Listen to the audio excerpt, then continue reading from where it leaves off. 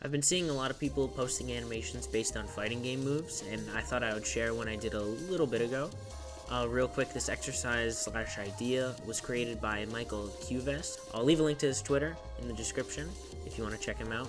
The idea of this exercise is to animate something referencing old school fighting games, specifically the ones with sprites.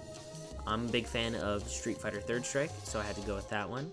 The key poses in this game are out of this world, so I knew I had to nail that motion and as well as the pushback you get from the wave from the fireball or Hadoken. As you can see, the first pass was pretty rough, uh, but it was mainly just copying the keyframes and then just putting it on spline. Uh, the timing wasn't really there yet, so after that I cleaned it up, fixed the timing, added more in-betweens, added a fireball element I found online, set my scene up with some lights, and boom, here's what it looks like with sound.